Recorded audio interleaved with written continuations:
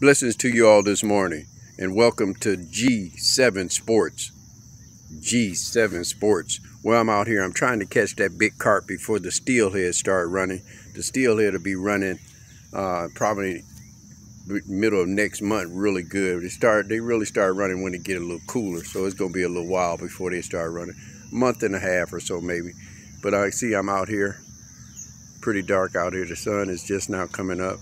I'm gonna spend some time with the Lord out here and hopefully I can land that big carp.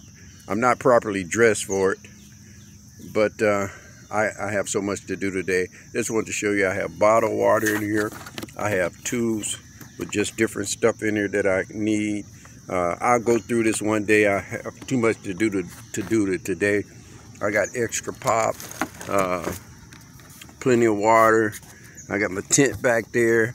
I even have this little Coleman cooker. That's what I'm gonna make my coffee with this morning. Uh, got charcoal back there, stuff to start a fire, uh, extra clothes in here.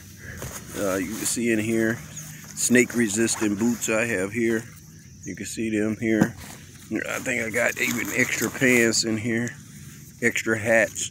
Uh, here's the thing, we, we pray nothing happened, but after the COVID, you just got to be ready for whatever. So this is the time to get yourself together. God bless you all. Thank you for tuning in to G7 Sports.